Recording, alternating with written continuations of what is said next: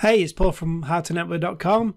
Just wanted to let you know we've uploaded another free workbook. If you go to howtonetwork.com and then you can hover over free training, there's a free CCNA study guides, Network Plus, Security Plus. There's some IT webinars on exam success and study success and some other stuff.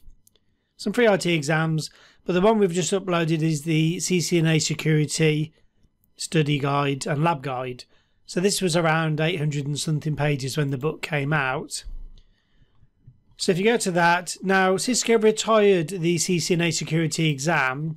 They've actually merged it with the cyber ops. If you if you're on the website and you go to courses, there's a Cisco cyber ops associate course, and a lot of this is now in the uh, CompTIA Security Plus and there's some other security exams you can take as well that cover the same stuff. There's a link to our Security Plus Lab workbook. Otherwise, here is the um, syllabus. You've got all the chapters here.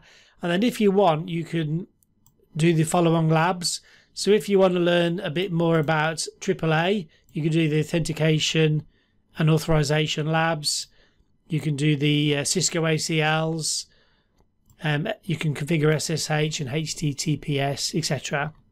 So there's a whole bunch of stuff here. If I click on, for example, uh, DHCP snooping, which is chapter 6, you'll be taken to the relevant chapter and uh, we've got a little uh, index um, just on the top. So, introduction, here's what you're going to learn. There's a clickable index here. So, if you're only interested in learning, uh, for example, ARP spoofing, click on that. We've got all of the uh, configuration commands and show commands you need to know.